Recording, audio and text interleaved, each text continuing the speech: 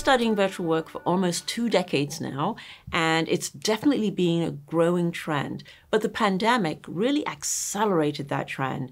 And I've been so surprised at how much this work trend has really stuck. So, virtual work is here to stay, and I've, it's a really exciting area to be doing research in.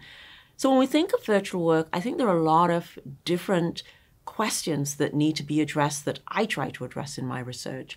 For example, how does virtual work impact employee well being?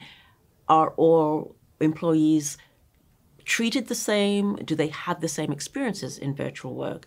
And basically, what my research suggests is that there are some positive sides and also some negative sides.